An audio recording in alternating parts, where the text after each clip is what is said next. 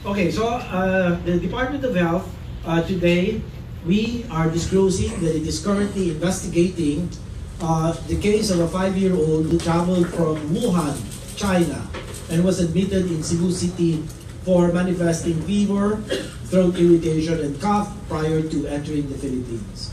The case was immediately reported to the Regional Epidemiology and Surveillance Unit of Central Visayas Center for Health Development, and the child was endorsed for admission.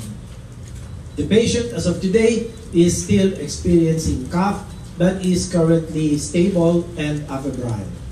Samples from the patient were first tested at the Research Institute for Tropical Medicine, or RITM, and yielded negative results for the Middle Eastern Respiratory Syndrome related coronavirus, or more often uh, referred to as MERS-CoV, MERS-CoV, and severe acute respiratory syndrome related coronavirus, or SARS-CoV.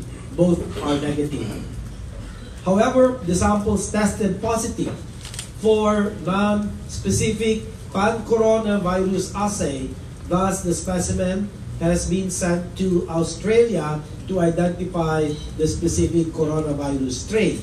The reference laboratory in Australia is known as the uh, Victorian Infectious Disease uh, Reference Laboratory.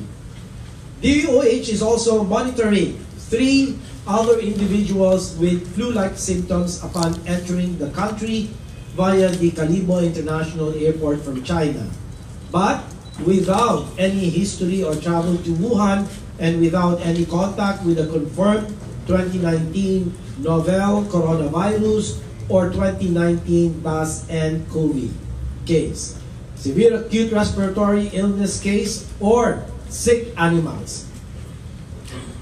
Throat samples from these patients were already sent to RITM for testing. All three cases are currently well and are no longer manifesting any symptoms.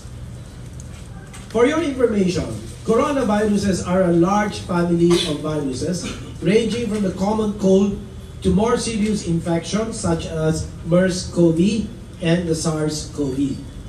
Common signs of coronavirus infection include respiratory symptoms, fever, cough, shortness of breath, and breathing difficulties. In severe cases, it can cause pneumonia, acute respiratory syndrome, kidney failure, and even death.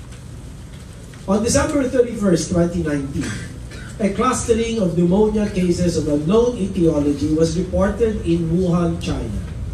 The outbreak was later determined to be caused by a 2019 nCoV, a new coronavirus strain that has not been previously identified in humans.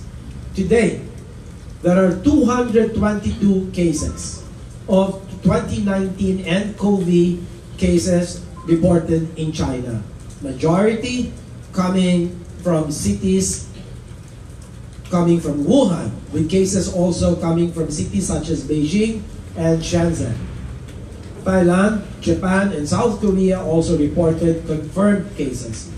Initially, the said disease was thought to be transmitted through animal contact, but recent reports indeed showed human-to-human transmission of 2019 SARS and COVID.